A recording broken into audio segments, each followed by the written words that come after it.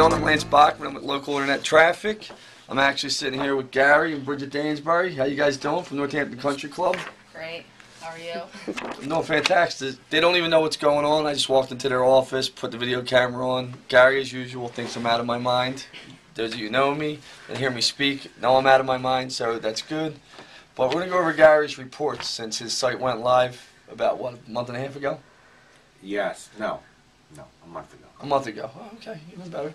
Um, so, in that time frame, your rankings, when we took over your site, you didn't have much visibility on the web at all, did you?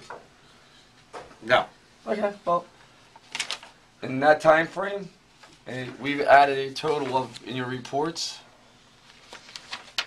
you're found for 235 different keywords, and you went up 316 spots on all different search engines. And there's your reports. Lance is the best. He's the man. The point being is, you went up tremendously in 30 days. It's like really outrageous.